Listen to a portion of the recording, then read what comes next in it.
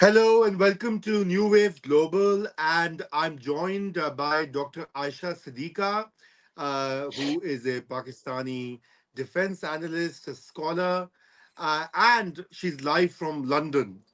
And the reason I asked uh, Dr. Ayesha to speak with us today is what is happening in the UK, especially in the past few days. There have been repeated attacks on Muslims, on mosques, on communities and uh, let's not even forget what happened at the Manchester airport, where police brutality against uh, uh, British citizens of Pakistani origin uh, came under in, immense scrutiny by the press and the public. And since then, we've seen a, an unprecedented rise in sort of hate uh, speech and hate narratives about Muslims and immigrants in the UK. Uh, unfortunately, this is not limited to the UK because uh, the European continent, the United States, even even Australia, uh, we have seen shades of this kind of uh, polarization and racial racialization of uh, the Muslim uh, community uh, or, or, or communities.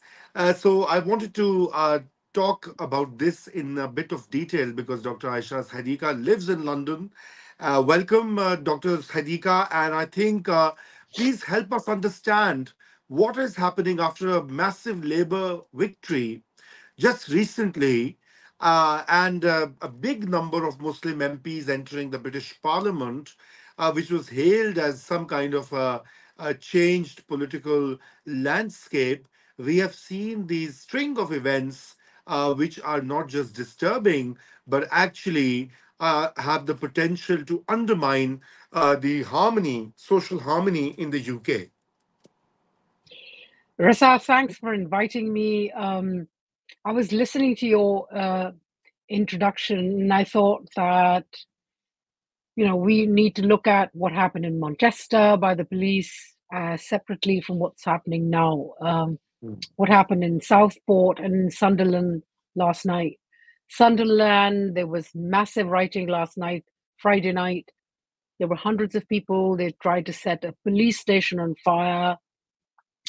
Um, and that has is is an extension of actually what hap- happened in Southport. Uh, there was stabbing. The stabbing was done by a, a minor, 17 year old.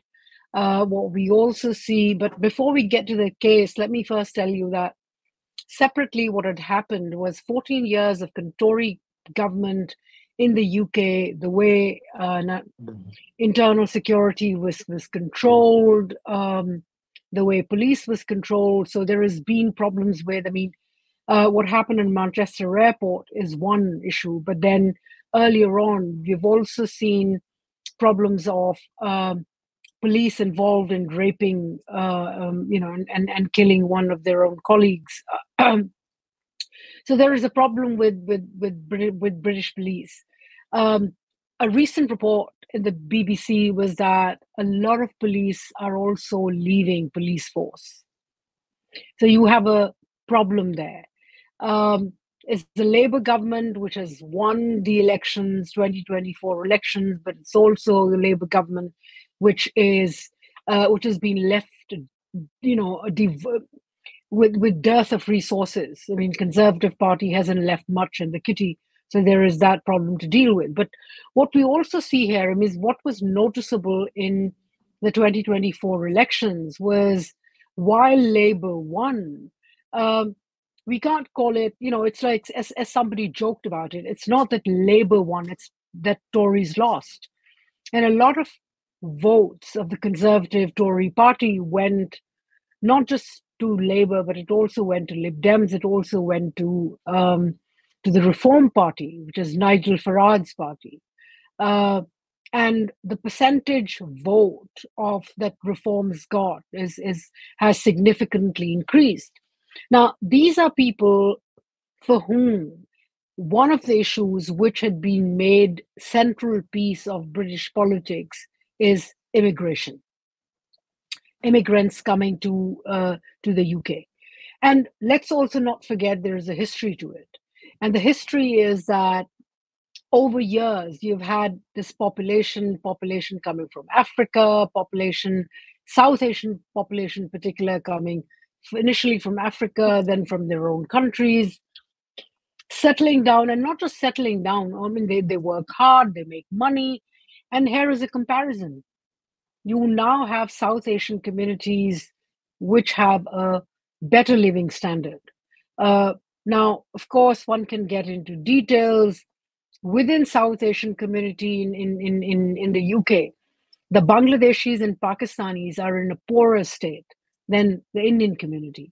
But of course, you know, the, the Anglo-Saxon, the local Anglo-Saxon uh, can't tell the difference. Like we can't tell the difference between a Japanese or a Korean or a Malaysian or a Chinese. They can't tell the difference. So for them, and for years, you've had this very negative publicity, especially 9 11, post 9 11. The depiction, the narrative against the Muslim community is all now coming together in anger of working class, white working class, deprived. Um, we don't often don't talk about it, but there is a lot of rural poverty in the UK. That's right. So all of these right. all of these factors are coming together and there is anger. Uh, and if the British government doesn't put its foot down, uh, which it's trying to do, then it's really going to blow up. It's going to come to London as well. Sadly, Dr. Siddiqa, tell me, are you you live in London? Are you uh, how concerned are you personally? Because you you you I mean you travel across the country, and uh, do you think uh, uh, that you know uh, the uh, British Muslims or Asians?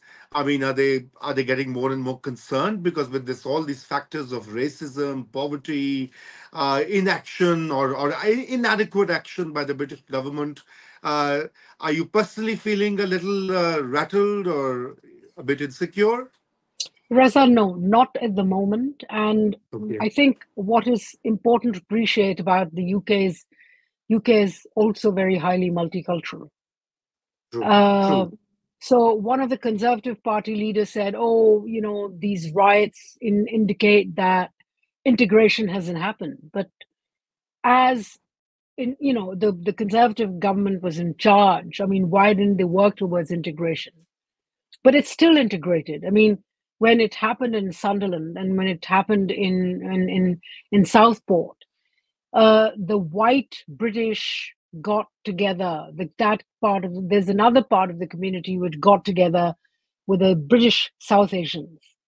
Uh, the, Right. the, the the the the wall of the mosque, which had been demolished by by the writers, was rebuilt, and the local community was there to help. Uh, that's important to understand that it's still multicultural and there is still hope.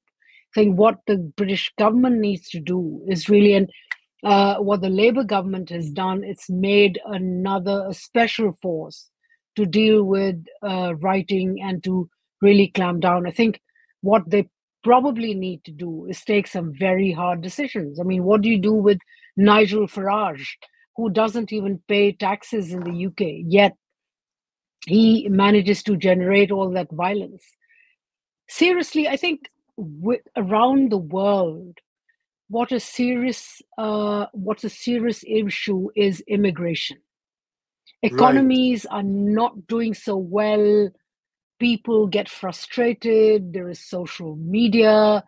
There is anger. So wherever you look, people are Europe are very uncomfortable with with immigration, and and this is not something unnatural. Uh, UK is a small island at the end of the day, and for Ah, people trying to come in uh, in droves, uh, it puts pressure. But what the government needs is a policy. Uh, I mean, I wouldn't say as a South Asian who's living here, I'm not going to say that, you know, let anybody uh, taking the boat come in. I think there has to be a policy of how do you allow immigration. It does create political problems internally, um, which need to be resolved. And I think all those forces which are creating conflict internally uh, the government has to clamp down.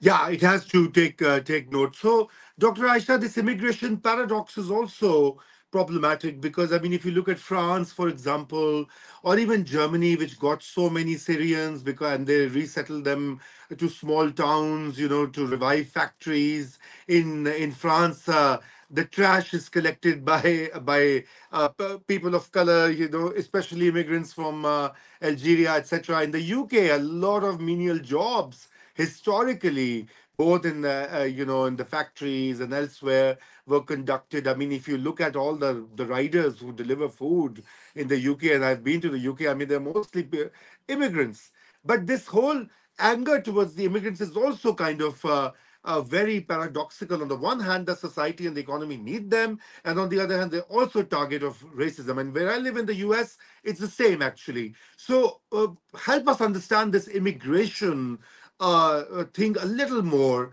uh, and then we can conclude our discussion today. you know, it's it's we would like to imagine that these uh, workers, these working class people, have been brought in to work and do the menial job. Of course, a lot of ordinary jobs, um, blue collar jobs, are done by, by by migrants now, initially, 1950s and 60s, a lot of migrants from Africa, from South Asia were brought in to work. But mm. today, it's a cycle. So the migrants, they come, they have their families, they bring in more people. Uh, there is a cost to uh, the system as well. There is also a misuse of system. Yeah. I don't think that the misuse doesn't happen. Uh, so, and let's also not forget that the reason that migrants continue to come is because the legal system uh, is soft enough to allow this kind of migration. Mm, Nobody's hmm. saying mm. if you know if I write, if I'm working, if I'm paying taxes, I can bring in family. Uh, now, the, the the problem is that it's it's the problem is in both ends right you have these countries you know countries like pakistan even there is migration from india from bangladesh where local politics is not comfortable. And people want opportunities and therefore they they want to migrate. Uh, they're not being brought in. But there isn't there is an integration problem here as well on both sides. It's not just that the local community the white british doesn't integrate. It happens in both ends. I've mm. seen families after families who have been living here for years and yet don't learn the language don't try to integrate into culture so you have disintegration on the one hand um, not proper integration. Uh, what I mean, not disintegration, but sorry, pro- proper yeah. lack of proper integration. On one hand, you have rising burden which these countries cannot take, and therefore uh, they're crumbling. The system is crumbling, and there's going to be a fallback uh, of all of that. And yes, law and right. order. Uh, that needs to be revised, worked, greater intolerance for any kind of violence. Uh, these societies have done it in the past; they need to do it again. Right, right. That is that is really a useful uh, ending to our uh, discussion. I think the British government really needs to do more. Uh, it has to look at its legislation, its policies, the, the police behavior, and the overall societal attitude towards the immigrants. With that, Dr. Siddiqa, I thank you again for your precious time. And viewers, if you have comments and questions, please leave them in the um, comment box and do subscribe to our, ch- our channel. Thanks and goodbye.